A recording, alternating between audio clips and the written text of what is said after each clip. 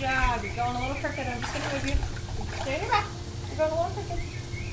Okay, roll over. Swim your big arms. Big arms. Roll over.